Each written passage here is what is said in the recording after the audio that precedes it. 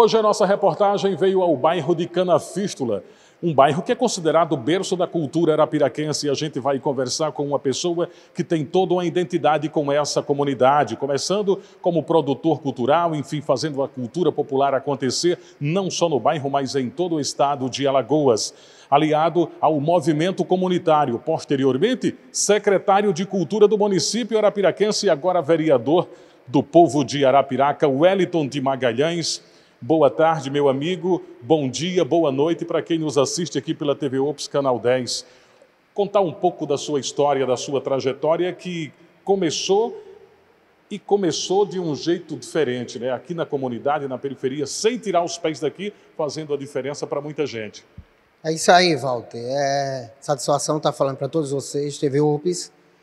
É, a gente começou aqui, justamente nesse prédio, é, fazendo cultura mesmo, políticas públicas culturais. A gente que nasceu aqui tem o maior orgulho por ser desse bairro, que é o berço cultural de Arapiraca. É, já vem mantendo a tradição que já vem, pertence à minha família também, as famílias aqui do bairro de Canafístula.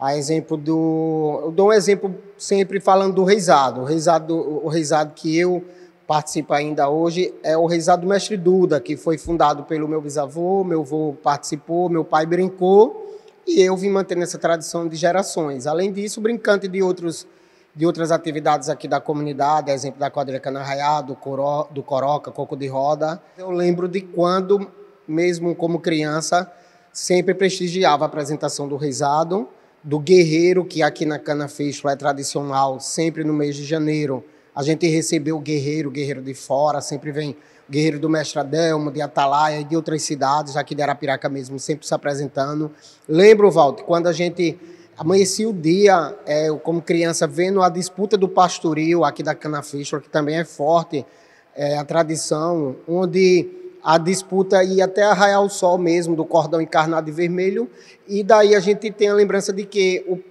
o pastoril ajudou na construção da, do, do, teto da igreja quando caiu, na construção da, da creche. A gente participou como, como animador, junto com o Ronaldo Oliveira e outras lideranças comunitárias na época. Então, aqui na Canafístula, a gente já nasce realmente respirando cultura. Então, eu acho que eu já, que, já faço parte desse movimento desde quando nasci mesmo, porque aqui o, a, a cultura já passa nas veias, me arrepio todo em falar isso, e já está no sangue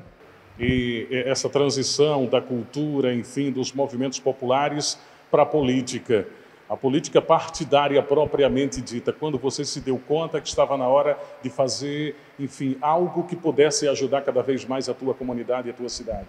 Rapaz, eu nunca tive pretensão política. A gente, mesmo sem saber, às vezes a gente faz política.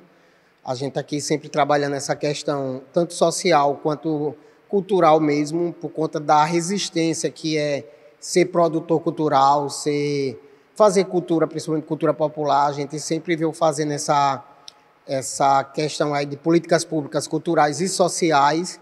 e a gente sempre ajudando pessoas aqui da comunidade na questão política e eu acho que isso aí aflorou na minha vida por conta das, das outras pessoas que passaram a acreditar e cobrar e acreditar e incentivar um grande incentivador que eu devo muito é o prefeito Luciano Barbosa, foi quem me incentivou, quem acreditou,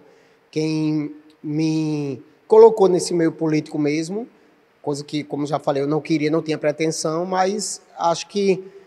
as pessoas quem acreditam e quem acaba colocando a gente nesse nessa situação aí de político, né? Eu acho que a experiência como secretário de Cultura, para mim até hoje foi a maior experiência que eu já tive na minha vida, porque realmente é o que eu gosto de fazer, independente, independente de política, independente de, de gestor mesmo, eu sempre é, me identifico me identi e me identificarei sempre, porque justamente hoje também, no dia do folclore, a gente estava até fazendo uns vídeos para parabenizar as pessoas que fazem é, cultura, cultura popular e que lutam para manter a cultura viva é, a gente ter, poder ter é, o orgulho de dizer, eu passei pela pasta da cultura numa cidade como Arapiraca, uma cidade que é muito dinâmica, que vem crescendo muito e que a gente tem que correr mesmo para conseguir acompanhar o desenvolvimento dela. E a cultura é algo, é, Walter, que é muito é assim, ela é um pouco complicada de se de, de, de ocupar a pasta porque existe a cobrança da população que quer cultura de qualidade, a cobrança do artista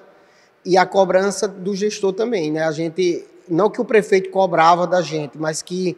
a responsabilidade da gente estar tá numa na gestão do prefeito, como Luciano Barbosa, era algo que já era natural existir uma cobrança para que fizesse, e também a nível de Arapiraca. Arapiraca é uma cidade que merece realmente